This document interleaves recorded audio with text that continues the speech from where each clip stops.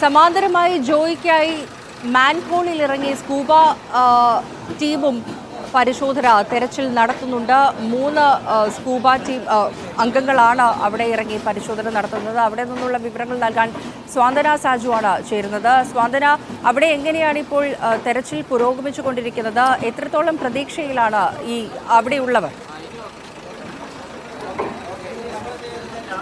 ഫരിഷ ആഷിക്ക് പറഞ്ഞതുപോലെ തന്നെ ഒരു സൈഡിൽ നിന്ന് യന്ത്ര സംവിധാനം ഉപയോഗിച്ച് തെരച്ചിൽ നടത്തുന്നു. മറുവശത്ത് നിന്ന് ഈ സ്കൂബ ടീം അംഗങ്ങൾ തന്നെ ഇറങ്ങി ഒരു പരിശോധന നടത്തുന്നു. അങ്ങനെ എല്ലാ തരത്തിലും നമ്മളെ കൊണ്ട് കഴിയുന്ന തരത്തിലൊക്കെ പരിശ്രമിച്ചുകൊണ്ട് ഒരു ജീവന്റെ തുടിപ്പെങ്കിലും അതിനുള്ളിൽ ബാക്കിയുണ്ടോ എന്ന് ഈ ഇരുപത്തിനാല് മണിക്കൂറുകൾ പിന്നിടാൻ പോവുകയാണ് അപ്പോഴും നമ്മൾ പ്രതീക്ഷ കൈവിട്ടിട്ടില്ല എന്നുള്ളതാണ് നമ്മൾ ഈ രക്ഷാപ്രവർത്തനത്തിൽ നിന്നൊക്കെ തന്നെ നമുക്ക് അല്ലെങ്കിൽ ഈ തിരച്ചിലിൽ നിന്നൊക്കെ തന്നെ നമുക്ക് മനസ്സിലാകുന്നത്. ഒരു ജീവന്റെ തുടിപ്പെങ്കിലും അതിനുള്ളിൽ ബാക്കിയുണ്ടോ എന്ന് കണ്ടെത്താനുള്ള കഴിയുന്നത്ര എല്ലാ പരിശ്രമങ്ങളും ഇവിടെ നടത്തുന്നുണ്ട്. ഇപ്പോൾ നമ്മൾ ഈ ദൃശ്യങ്ങളിൽ കാണുന്നത് ഈ മൂന്നാം നമ്പർ പ്ലാറ്റ്ഫോമിനും നാലാം നമ്പർ പ്ലാറ്റ്ഫോമിനും ഇടയിലുള്ള മാൻഹോളിലേക്ക് ഇറങ്ങിക്കൊണ്ട് ഈ സ്കൂബ ടീം അംഗങ്ങൾ പരിശോധന നടത്തുന്നതാണ്. അവർ കയറ് കെട്ടി അതിനുള്ളിലേക്ക് ഇറങ്ങിപ്പോയാണ് പരിശോധന നടത്തുന്നത്. നേരത്തെ ഈ ആഷിക്ക് നിന്ന സ്ഥലത്ത് അതായത് ഒന്നാം നമ്പർ പ്ലാറ്റ്ഫോമിന്റെ അവിടെ നിന്ന് ഉള്ളിലേക്ക് നാൽപ്പത് മീറ്ററോളം സഞ്ചരിച്ച് വരുവാൻ അവർക്ക് സാധിച്ചിരുന്നു. ഞാനിപ്പോൾ നിൽക്കുന്നത് ഈ മാൻഹോൾ ഉള്ളത് അൻപതാമത്തെ മീറ്ററിലാണ്. അതായത് നൂറ്റി അൻപത് മീറ്ററാണ് മുഴുവനായി ആമേഴഞ്ചാൻ തോട് ഈ ഒന്നാമത്തെ പ്ലാറ്റ്ഫോം നമ്പർ ഒന്ന് മുതൽ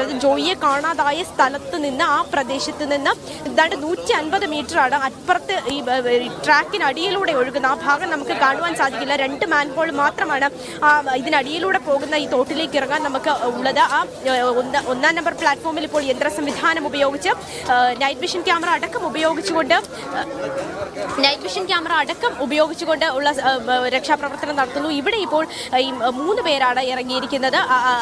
യെസ് അത്തരത്തിലുള്ള സംവിധാനമാണ് ഉപയോഗിക്കുന്നത്. ഇതിൽ നമുക്ക് ഈ ദൃശ്യങ്ങൾ കാണുന്നത് ഇപ്പോൾ ഈ ഇതിലേക്ക് ഇറങ്ങിയ ഒരാൾ തിരിച്ച് കയറി വരികയാണ്.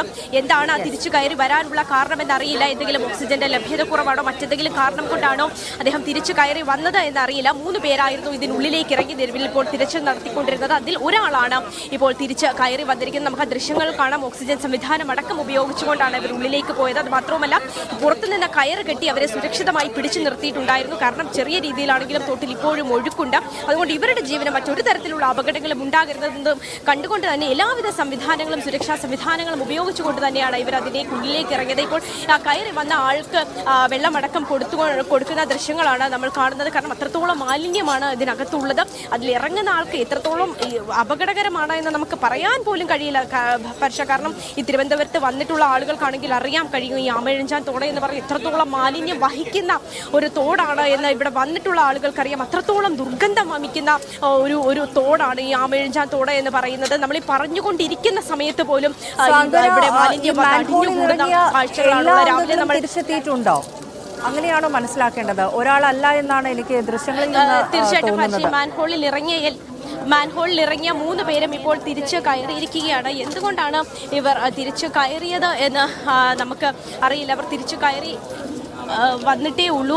മൂന്ന് പേരായിരുന്നു ഇതിനുള്ളിലേക്ക് ഇറങ്ങിയത്. കയറിയ മൂന്ന് പേരും ഇപ്പോൾ പുറത്തേക്ക് ഇറങ്ങി വന്നിരിക്കുകയാണ്. എന്താണ് നിങ്ങളിപ്പോൾ പുറത്തേക്ക് ഇറങ്ങിയത്? അല്ല ഇപ്പോൾ ഡൈവ് ചെയ്തേ ഉള്ളൂ. ഒന്നും ഒന്നും പറയാറായിട്ടില്ല. അങ്ങോട്ട് പോകുന്നത് ദുഷ്കരമാണ്. നിറച്ചും മാലിന്യമാണോ? ആ ഫുള്ള് മാലിന്യം. അതുകൊണ്ടാണോ കയറാൻ പറ്റാത്തത്? അതെ അതെ അതെ ഇല്ല ഇല്ല നോക്കോ നോക്കോ.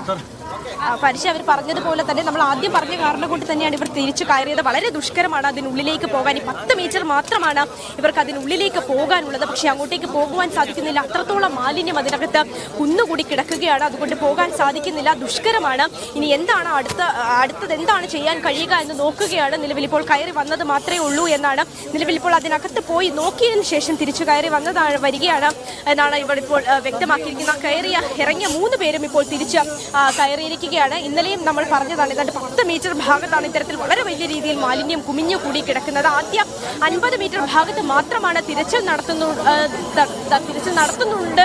ഈ ഭാഗത്ത് മാത്രമേ തിരച്ചിൽ നടത്തുന്നുള്ളൂ എന്നുള്ളതും ഒരു പ്രധാനപ്പെട്ട കാര്യമാണ്. കാരണം ഈ ജോയി കാണാതായി. ഏതാണ്ട് ഒരു പത്തിരുപത് മിനിറ്റിനുള്ളിൽ തന്നെ നമ്മളിപ്പോൾ നിൽക്കുന്ന ഈ മാൻഹോളിന്റെ ഇവിടെയായി ഒരു മെഷ് സ്ഥാപിച്ചിരുന്നു ഒരു നെറ്റ് സ്ഥാപിച്ചിരുന്നു. അപ്പോൾ അപ്പോൾ ഉണ്ടായിരുന്ന ഒരു പ്രതീക്ഷ എന്ന് പറയുന്നത് ഇദ്ദേഹം അവിടെ നിന്ന് ഇതിനകത്തുകൂടി ഒഴുകി വരികയാണെങ്കിൽ ഈ നെറ്റിൽ വന്ന് തടഞ്ഞു നിൽക്കും എന്നുള്ള ഒരു പ്രതീക്ഷ പ്രതീക്ഷയുടെ പുറത്തായിരുന്നു ഇവിടെ ഈ നെറ്റ് സ്ഥാപിച്ചിരുന്നത്. പക്ഷേ അങ്ങനെ തടഞ്ഞു നിൽപ്പുണ്ടോ എന്ന് അറിയണമെങ്കിൽ ഇതിനകത്തിറങ്ങി പരിശോധിക്കണം. പക്ഷേ അത് സാധിക്കുന്നില്ല. പിന്നെ ആഷിക പറഞ്ഞതുപോലെ യന്ത്ര സംവിധാനം ഉപയോഗിച്ച് ഒന്നാം നമ്പർ പ്ലാറ്റ്ഫോമിൽ നിന്ന് ജോയി കാണാതായ സ്ഥലത്ത് നിന്നും ഇത്തരത്തിലൊരു തിരച്ചിൽ നിലവിൽ നടത്തുന്നുണ്ട്. ആ യന്ത്ര സംവിധാനത്തിന് ഇനി എന്തെങ്കിലും ചെയ്യാൻ കഴിയുമോ? അത് നൈറ്റ് വിഷൻ ക്യാമറ അടക്കം സെറ്റ് ചെയ്തിട്ടുള്ള ഒരു ഡ്രോബോട്ടിക് സംവിധാനമാണിത്. അപ്പോൾ അതിനെന്തെങ്കിലും തരത്തിലുള്ള ദൃശ്യങ്ങൾ പകർത്തിക്കൊണ്ട് ഏതെങ്കിലും തരത്തിലുള്ള തിരച്ചിൽ നടത്താൻ കഴിയുമോ എന്നുള്ളതാണ് ഇനിയും മുൻപിലുള്ള ഏക പ്രതീക്ഷ എന്ന് പറയുന്നത്. എൻ ഡി ആർ എഫ് സംഘങ്ങളോടൊക്കെ തന്നെയും രാവിലെ നമ്മൾ സംസാരിച്ചപ്പോൾ അവർ വളരെ പ്രതീക്ഷയോടുകൂടി തന്നെയാണ് കാര്യങ്ങൾ പറഞ്ഞത്.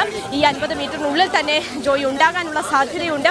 ഒരു ജീവന്റെ തുടുപ്പെങ്കിലും ബാക്കിയുണ്ടെങ്കിൽ എത്രയും പെട്ടെന്ന് കണ്ടെത്താനാകുമെന്ന് തന്നെയാണ് പ്രതീക്ഷ എന്നുമാണ് അവർ പറഞ്ഞിരുന്നത്. പക്ഷേ ഈ ആളുകൾ ഇറങ്ങിയുള്ള രക്ഷാപ്രവർത്തനം അതിപ്പോഴും നടക്കുന്നില്ല എന്നുള്ളത് തന്നെയാണ് ഫാരിഷ നമുക്ക് മനസ്സിലാവുന്നത്. ഇപ്പോൾ ഈ അംഗങ്ങൾ സംസാരിക്കുകയാണ്. നമുക്കൊന്ന്